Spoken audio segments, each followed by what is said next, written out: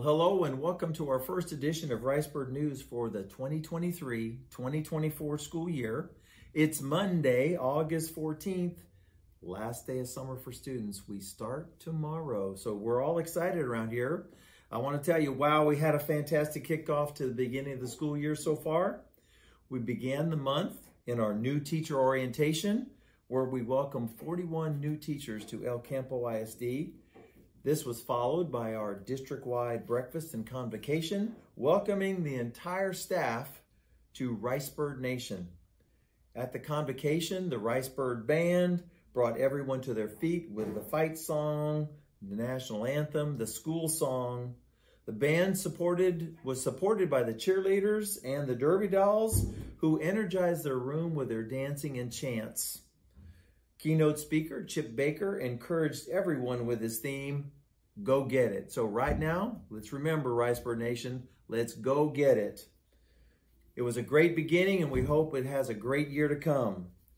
Last week, the sixth and ninth graders had orientations to get them familiar with their new campuses. Sixth graders coming from Northside and ninth graders coming from the middle school.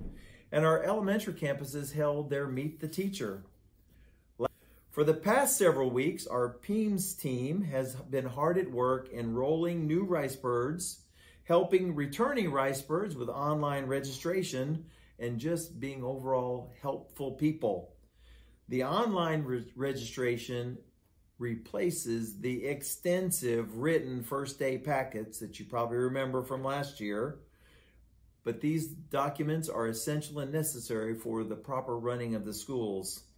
I'd like to give a huge shout out and thank you to Ryan Hanna at Myatt, Lupe Rosas at Hutchins, Andrea Olguin at Northside, Wendy Candel Candela Cruz at the middle school, and Audrey Hernandez at the high school.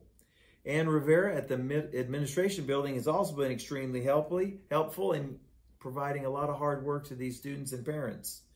Special thanks must go to those team leaders, and that is Victoria Guzman, who is our Registrar and PEIMS clerk held at MMLRC, and Assistant Superintendent of Teaching and Learning, Alicia Starry.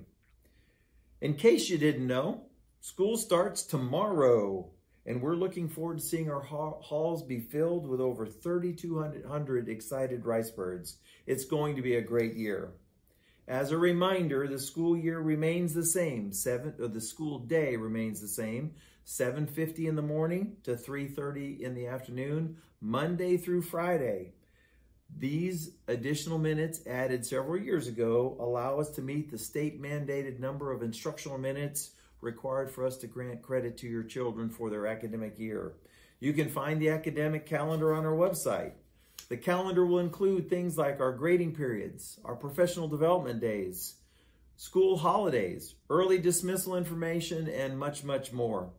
The student calendar is 170 days long, so I want to remind everyone of the importance of being in, in school and receiving instruction each and every day. Each day builds upon the last, and this foundation is helpful for your child to complete the educational requirements at their grade level.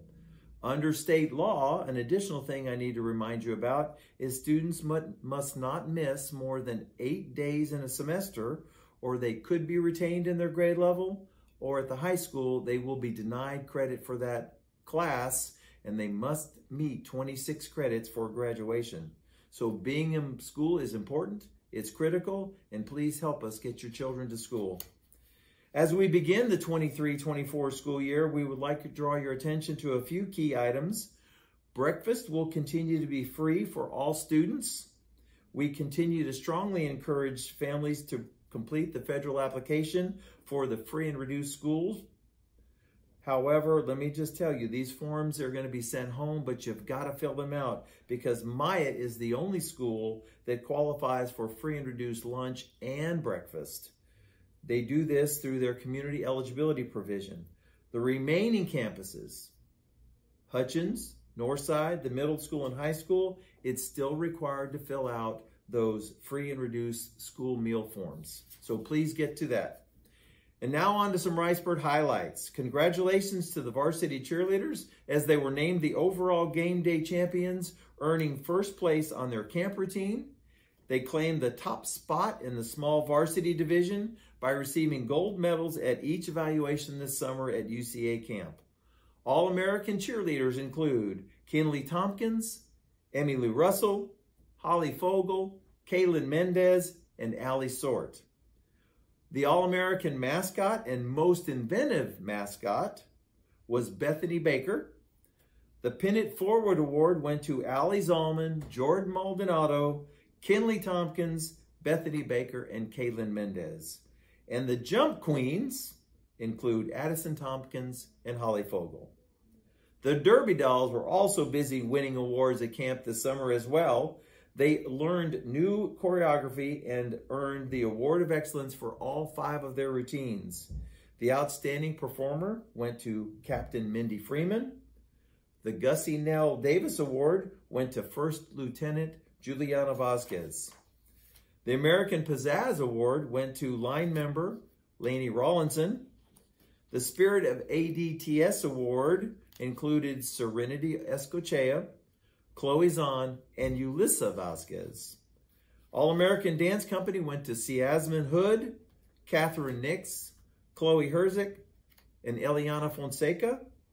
The All-American Dance Team went to Ciasmin Hood, Jolie Kanarik, Chloe Herzik, Eliana Fonseca, Mindy Freeman, Juliana Vasquez, Catherine Nix, and Audrina Acuna.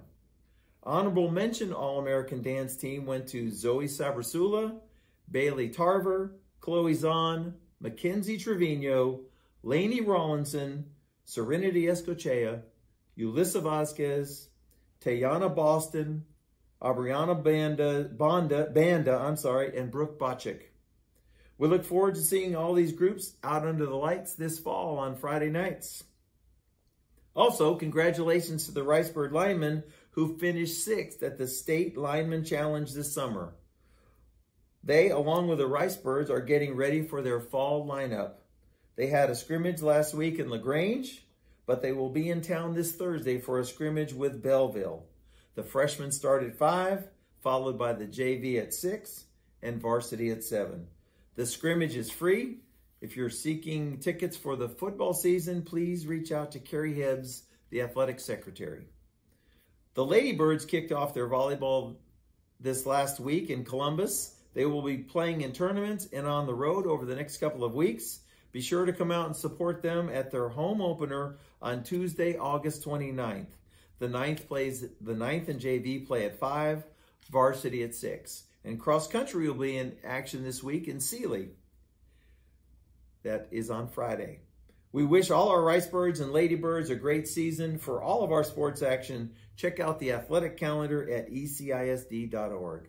And finally, the Ricebird cheerleaders would like to invite everyone to their annual Ricebird Rally Monday, August 21st at Ricebird Stadium. You'll meet the Ricebirds, learn yells and traditions, and you'll have a chance to win door prizes. So please be there, 715, and be ready to root on those Ricebirds. That's all for this week. Thanks for joining us. Have a great week.